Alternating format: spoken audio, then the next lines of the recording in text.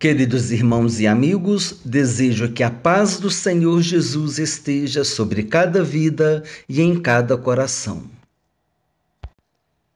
O canal Palavra de Vida apresenta Gincana Bíblica 5, perguntas e respostas, com referências bíblicas e comentários. Metodologia: primeiro virá o slide com a pergunta, depois de 10 segundos virá o slide com a resposta e a referência bíblica ou um comentário que justifica a resposta. Esta gincana terá duas perguntas extras, totalizando 12 perguntas. Anote as suas respostas em um papel e depois veja quantas conseguiu acertar, compartilhando nos comentários, se desejar. A gincana é um modo divertido e interessante de estudar e aprender a palavra de Deus.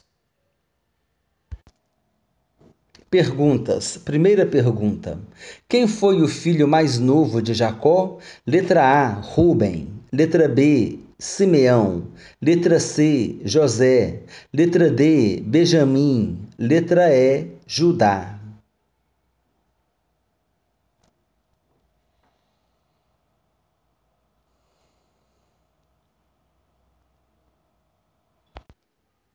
Resposta: letra D. Comentário: De acordo com a Bíblia, Benjamim foi o filho mais novo de Jacó, com sua mulher Raquel. Os dois filhos de Jacó com Raquel foram José e Benjamim. Número 2. Na ocasião do dilúvio, quantas pessoas entraram na arca? Letra A, 6. Letra B, 8. Letra C, 10. Letra D, 12. Letra E, 14.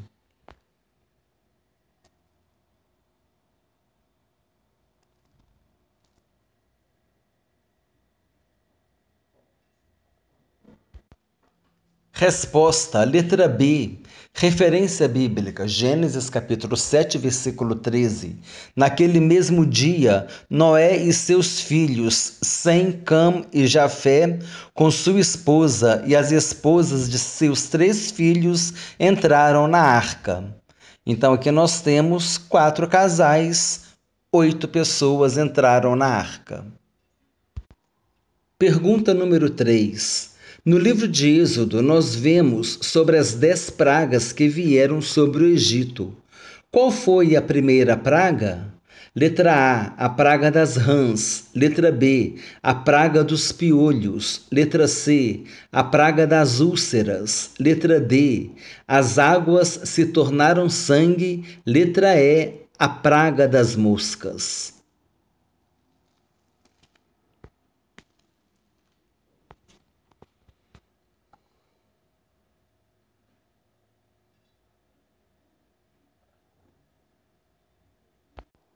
Resposta, letra D. Referência bíblica. Êxodo capítulo 7, versículo 20. Fizeram Moisés e Arão como o Senhor lhes havia ordenado. Arão, levantando o bordão, feriu as águas que estavam no rio, à vista de Faraó e seus oficiais, e toda a água do rio se tornou em sangue. Comentário: A primeira praga foi as águas do rio se tornaram em sangue. Pergunta número 4. No livro de Êxodo, qual é o capítulo no qual os Dez Mandamentos foram dados a Moisés? Letra A, Êxodo capítulo 20. Letra B, Êxodo capítulo 21. Letra C, Êxodo capítulo 22. Letra D, Êxodo capítulo 23. Letra E, Êxodo capítulo 24.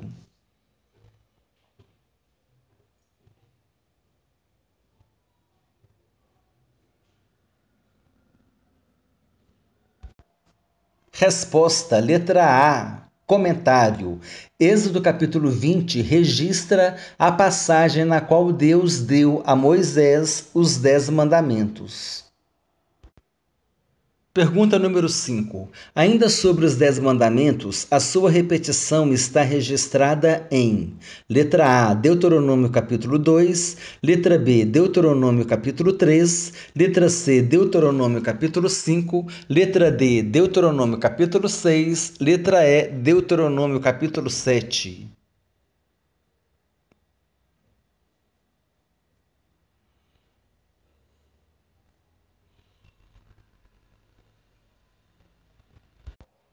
Resposta: letra C.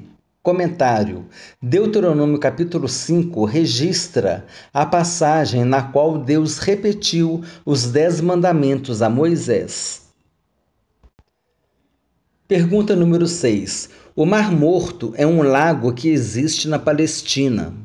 O seu outro nome dado na Bíblia é letra A, Mar da Galileia, letra B, Lago de Genezaré, letra C, Mar de Quinerete, letra D, Mar Mediterrâneo, letra E, Mar Salgado.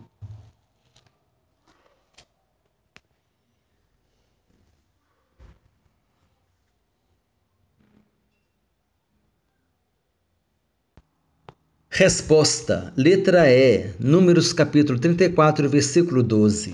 O texto bíblico diz assim: Descerá ainda ao longo do Jordão, e as suas saídas serão no mar salgado.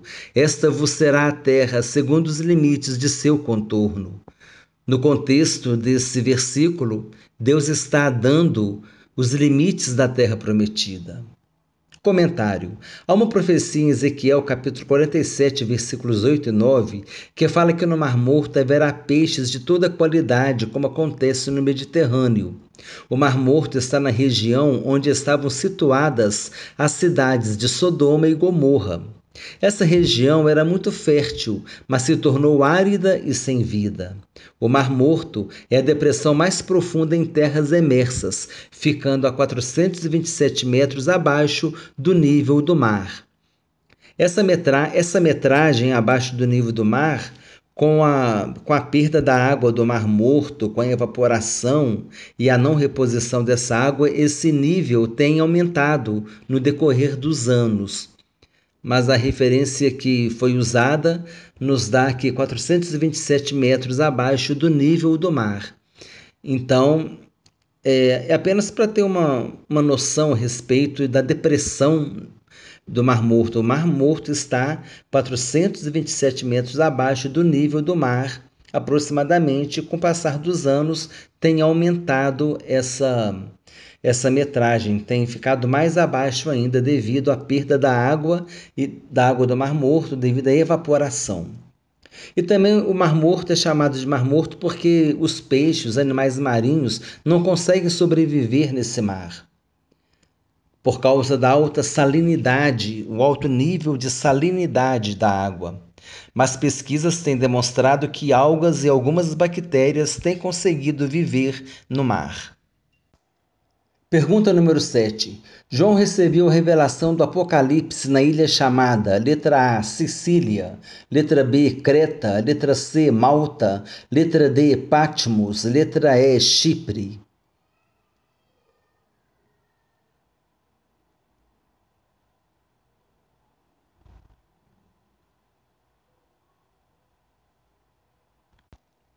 Resposta, letra D, referência bíblica, Apocalipse capítulo 1, versículo 9. O texto bíblico diz assim: Eu, João, irmão vosso e companheiro na tribulação, no reino e na perseverança, em Jesus, achei-me na ilha chamada Patmos, por causa da palavra de Deus e do testemunho de Jesus. Pergunta número 8. No dia de uma festa dos judeus, o Espírito Santo desceu sobre aqueles que estavam reunidos no cenáculo. Esse acontecimento está registrado em Atos capítulo 2. Qual é o nome dessa festa? Letra A, Festa dos Tabernáculos. Letra B, Festa das Cabanas. Letra C, Festa de Pentecostes. Letra D, Festa da Páscoa. Letra E, Festa do Purim.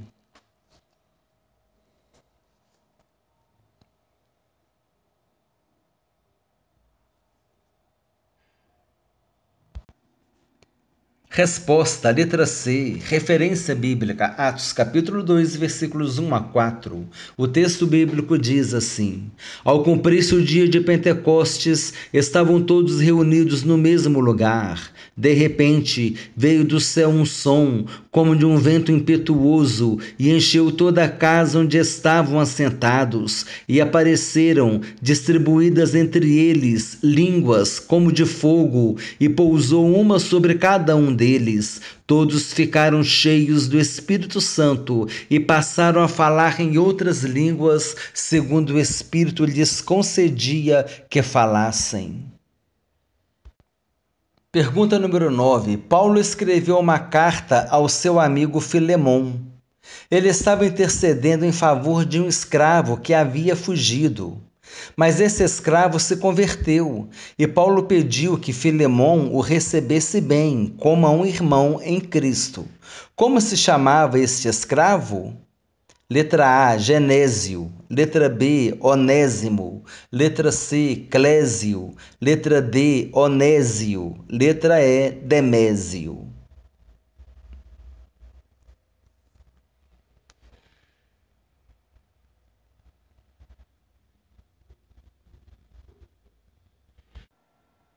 Resposta, letra B, referência bíblica, Filemão, versículo 10. O texto bíblico diz assim: Sim, solicito-te em favor de meu filho Onésimo, que gerei entre cadeias.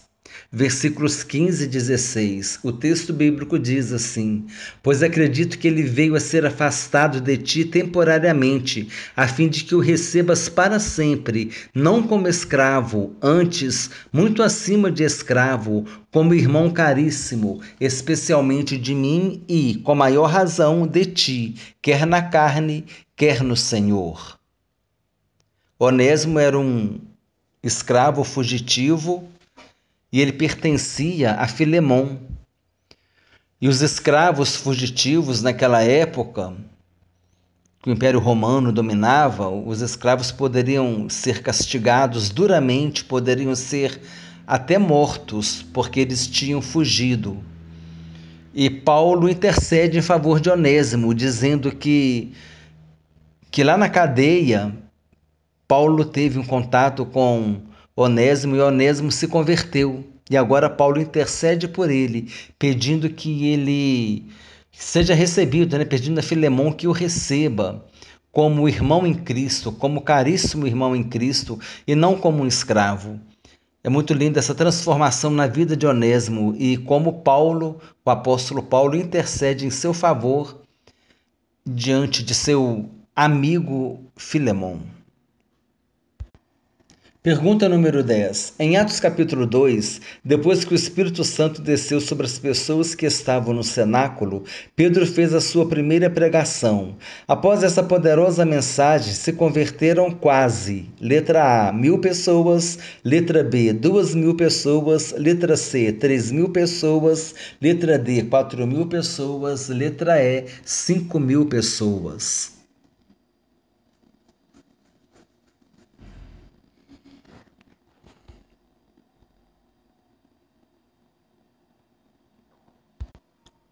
Resposta, letra C, referência bíblica, Atos capítulo 2, versículo 41. O texto bíblico diz assim: Então, os que lhe aceitaram a palavra foram batizados, havendo um acréscimo naquele dia de quase 3 mil pessoas.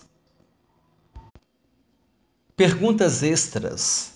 Pergunta número 11. Qual profeta que foi chamado por Deus era boiadeiro? Letra A, Oséias. Letra B, Joel. Letra C, Amós. Letra D, Obadias. Letra E, Jonas.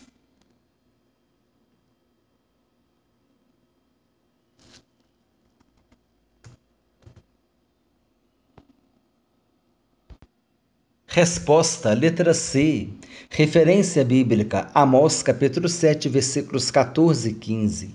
O texto bíblico diz assim: Respondeu Amós e disse a Amazias: Eu não sou profeta, nem discípulo de profeta, mas boiadeiro e colhedor de sicômoros.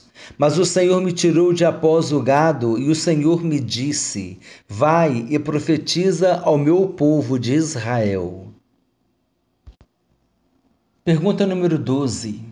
A glória da segunda casa será maior do que a da primeira. Essa mensagem profética foi proferida pelo profeta, letra A, Abacuque, letra B, Sofonias, letra C, Ageu, letra D, Zacarias, letra E, Malaquias.